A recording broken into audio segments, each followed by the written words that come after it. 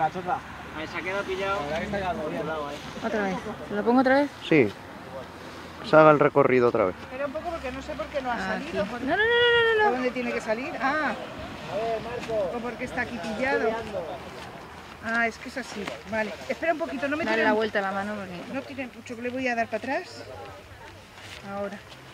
No le hagas que sufra sin que esté Ya está quieto. Corre, aprovecha que Ya. está quieto. Escondido. Ponle un palo. Para que no sufra. Si no sufre. ¿Por qué iba a sufrir? No, eche fuera. Marcos, Marcos, mira. Se ha quitado aquí.